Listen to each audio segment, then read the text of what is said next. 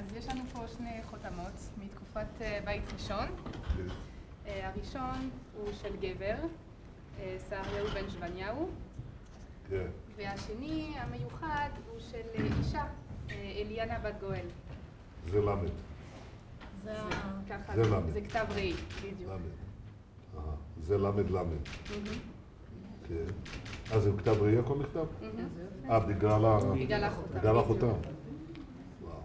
מספר גדול של חותמות מגיעים אלינו משוק העתיקות, וחותמות שמתגלים בחפירה בתוך מבנה שאתם לא יכולים. לאמת אותם, זה אתם מאמתים. בוודאות. זה נמצא בתוך מבנה, מבנה מאוד מרשים שבימים האחרונים נחפר בעיר דוד. עכשיו תגיד לי, מתי הפסיקו להשתמש בכתב העתיק? הכתב העתיק למעשה, עם הגלות, כן. כשעוברים לשם מאמצים את הכתב המרובע, כשחוזרים כבר מתחילים לכתוב את הכתב שאנחנו יותר מכירים. זאת אומרת, אחרי אחרי גלות בבל. בדיוק. אז בסביבות אה, 500, משהו. סדר גודל שכזה. אבל החשוב... כך שבתקופת חי- בית ראשון היו נשים עם אה, מעמד אה, משפטי חוקי, שהיו יכולים לעשות אה, סחר. כי לא היו צריכים לקבוע את זה על הבצק. רק על מסמכים. על מסמכים, והיו יכולים... לדעתי אה, הייתה יועצת משפטית. לצערנו אנחנו את המסמכים לא מוצאים, זה פפירוסים רובם היו. שמים את הידיים על הדבר, על הדבר האמיתי הזה, התרגשות גדולה. לוקח לנו הרבה זמן להגיע לעומקים האלה. ואת זה אתם ראיתם, זאת אומרת, יש תיעוד שאתם מצאתם את זה מתוך, אף אחד לא בא אחר כך וקצת, אה, פיזר קצת, אה, לא מצאתם את זה תוך כדי החפירה, אלא רק אחר כך בסינון.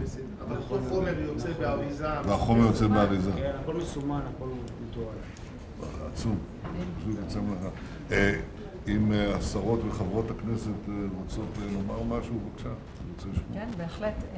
ראשית, אין ספק שבכל תחום בחיינו אז יש את ההשפעה של נשים חזקות, אז גם כאן באופן טבעי. רוצה לומר שאתה עשית אה, כמה דברים מאוד מאוד חשובים בנושא הזה. אחד זה שייעדת משרד, שאחת מהגדרות התפקיד שלו המאוד ברורות זה לבוא ולקדם את השוויון המגדרי בישראל, וזה בשעה טובה, יש את זה אומנם בהרבה מקומות בעולם, אבל לפתחנו זה בפעם הראשונה. אותי, אותי זה אנחנו מודים לך. מרגש שאתה ללא מחזק גבול. אותנו כל פעם ללא. גבול, גבול. תדליפו גם את הצרכים הכלכליים שלכם, שיהיו יותר... הם מטופלים לא רע. הם מטופלים לא רע. הם מטופלים. תודה רבה לכם. תודה. בת גואל. נו, מה עוד אתה צריך? אלי ענה בת גואל, נו. שמעתי.